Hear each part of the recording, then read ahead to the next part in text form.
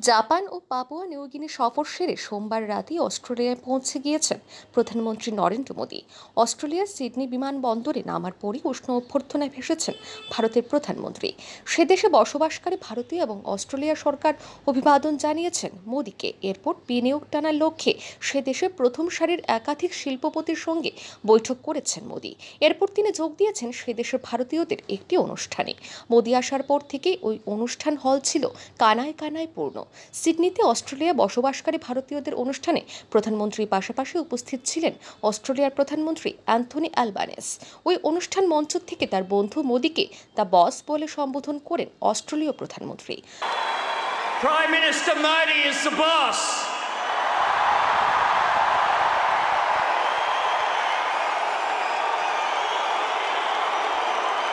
Namaste Australia এই বলে সিডনির অনুষ্ঠানে বক্তৃতা শুরু করলেন মোদী। সে দেশের বাসিন্দা ও সে দেশে বসবাসকারী। ভারতীয়দের ধন্যবাদ জানালেন মোদী। মোদী বক্তৃতা শুরুর পরে উল্লাস ধ্বনি দিতে থাকেন সেখানে উপস্থিত দর্শকরা। সিডনি হল মুখরিত হয় মোদি মোদি ধ্বনিতে। সিডনিতে ফের হাজির হতে পেরে খুব আনন্দিত। আমি একা নই। প্রধানমন্ত্রী আলবানেসজি আমার সঙ্গে আছেন। ব্যস্ত সময়সূচির থেকে প্রধানমন্ত্রী আমার অনুষ্ঠানে উপস্থিত থাকায় আমি সম্মানিত।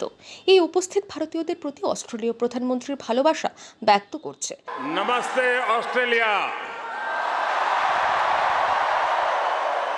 प्रधानमंत्री अल्बेनिजी भी मेरे साथ आए हैं मिस्टर प्राइम मिनिस्टर अपने बहुत व्यस्त कार्यक्रम में से हम सभी के लिए आपने समय निकाला है ये हम भारतीयों के प्रति आपके स्नेह को दर्शाता है आपने जो अभी कहा वो दिखाता है कि ऑस्ट्रेलिया के मन में भारत के प्रति कितना प्रेम है একটা সময় ছিল যখন বলা হতো ভারত ও অস্ট্রেলিয়ার সম্পর্ক থ্রি সি নির্ধারণ করে এ থ্রি সি হল কমনওয়েলথ ক্রিকেট ও কারি এখন বলা হয় ভারত ও অস্ট্রেলিয়ার সম্পর্ক থ্রি ডির উপর নির্ভর করে। এ থ্রি ডি হল ডেমোক্রেসি, ডায়াসপোরা ও দোস্তি। কিছু লোক এমনও বলেন ভারত ও অস্ট্রেলিয়ার সম্পর্ক থ্রি এর উপর দাঁড়িয়ে, এনার্জি, ইকোনমি ও এডুকেশন।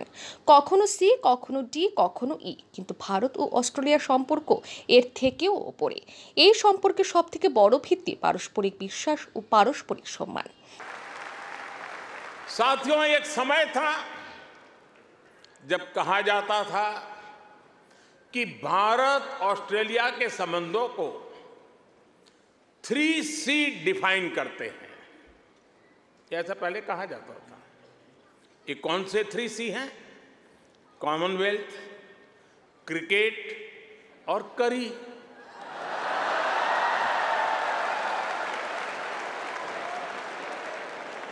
इसके बाद कहा गया कि भारत ऑस्ट्रेलिया के संबंध थ्री डी पर आधारित है। डेमोक्रेसी, डायस्फोरा और दोस्ती। कुछ लोगों ने यह भी कहा कि भारत ऑस्ट्रेलिया के संबंध थ्री ई पर आधारित है। एनर्जी इकोनॉमी और एजुकेशन यानी कभी सी कभी डी कभी ई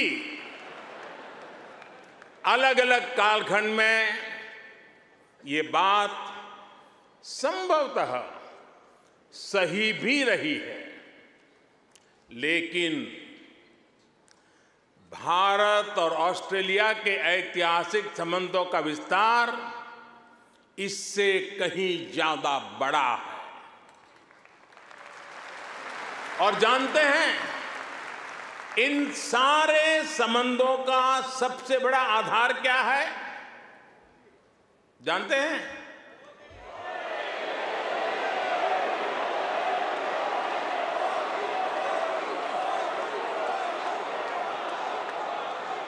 जी नहीं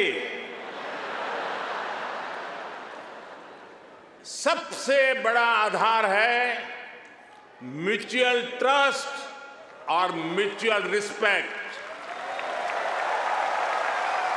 অস্ট্রেলিয়ার দেড় কোটি বেশি নাগরিক ভারতীয় আমাদের মধ্যে ভৌগোলিক দূরত্ব থাকলেও ভারত মহাসাগর আমাদের জুড়ে রেখেছে আমাদের জীবনযাত্রা আলাদা হলেও যোগা আমাদের জুড়ে ক্রিকেট তো আমাদের যোগাযোগ নিবিড় ব্রিসবেনে শীঘ্রই তৈরি হবে ভারতীয় দূতাবাস জানালেন মোদি ভারত ও অস্ট্রেলিয়ার গভীর বন্ধুত্ব আস্থা দিচ্ছে ब्रिस्बेन में भारतीय समुदाय की बहुत समय से जो मांग थी अब उसे पूरा किया जाएगा जल्द ही ब्रिस्बेन में भारत का एक नया काउंसलेट खोला जाएगा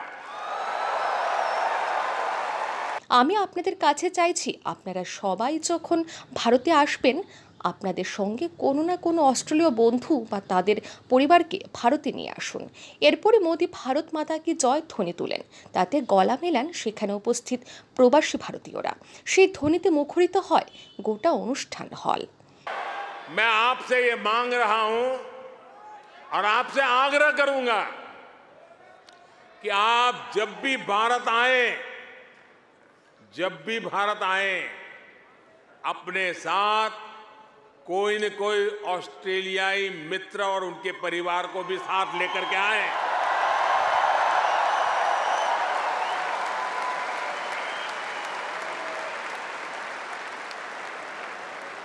इससे उन्हें भारत को समझने का, जानने का और ज़्यादा बेहतर मौका मिलेगा। आप इतनी बड़ी तादाद में आए लंबे अरसे के बाद आपको मिलने का मौका मिला।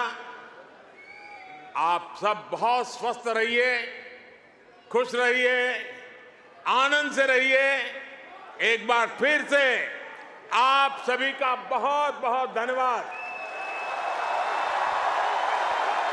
मेरे साथ बोलिए, भारत माता की, भारत माता की, भारत माता की।